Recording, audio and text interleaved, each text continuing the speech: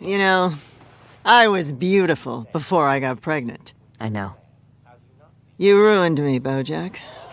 I know. You better grow up to be something great, to make up for all the damage you've done.